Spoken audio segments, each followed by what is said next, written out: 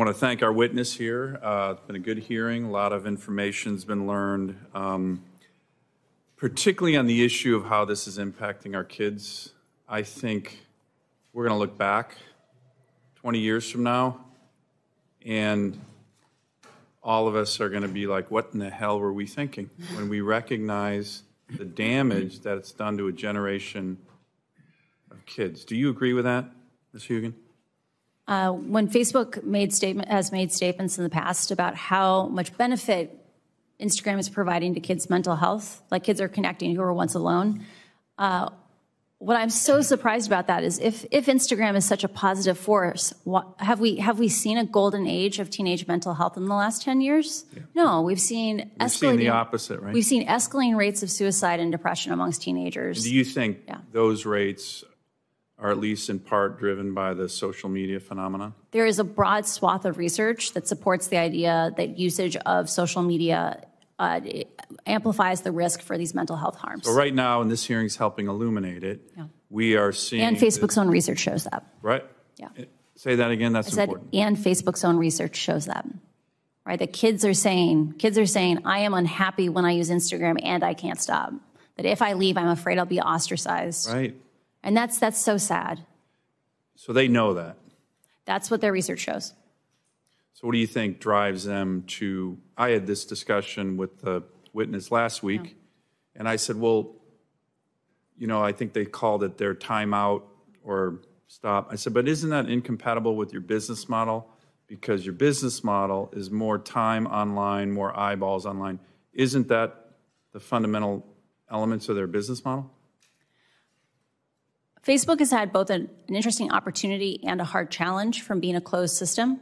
So they have had the opportunity to hide their problems.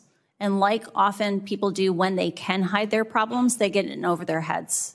And I think Facebook needs an opportunity to have Congress step in and say, guess what? You don't have to struggle by yourself anymore. You don't have to hide these things from us. You don't have to pretend they're not problems.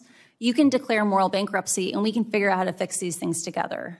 Because we solve problems together, we don't solve them alone. And by moral bankruptcy, one of the things that I appreciate the phrase that the chairman and you've been using is one of those elements, which is they know this is a problem. They know it's actually impacting negatively the mental health of the most precious assets we have in America, mm-hmm. our youth, our mm-hmm. kids. I have three daughters. Mm. Um, they know that that is happening, and yet the moral bankruptcy, from your perspective, is the continued the continuation of this simply because that's how they make money?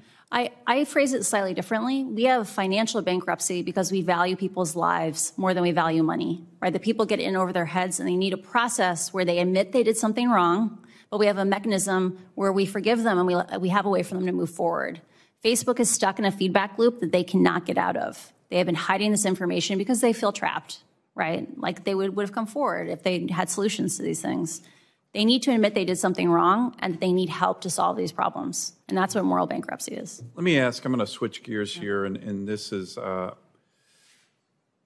you, what's your current position right now in terms of its disinformation and counterespionage? Um, I, my last role at Facebook was in counter I'm espionage. sorry, your last role, okay. Yeah. So one of the things, this is a very different topic, and um, I only got a minute or so left, but right now, is Facebook, I know Facebook is not allowed in countries like China, but do they provide platforms for authoritarian or terrorist-based leaders like the Ayatollahs in Iran, that's the largest state sponsor of terrorism in the world, um, or the Taliban, or Xi Jinping, our certain, my view, our biggest rival for this century, a communist party dictator who's trying to export his authoritarian model around the world. Do they provide a platform for those kind of um, leaders who, in my view, clearly don't hold America's interests uh, in mind? Does Facebook provide that platform? I, I, during my time working with uh, the Threat Intelligence Org, so I was a product manager supporting the threat, uh, the counter espionage team. Um, my team directly worked on uh, tracking Chinese participation on the platform, surveilling, say, Uyghur populations uh, in places around the world.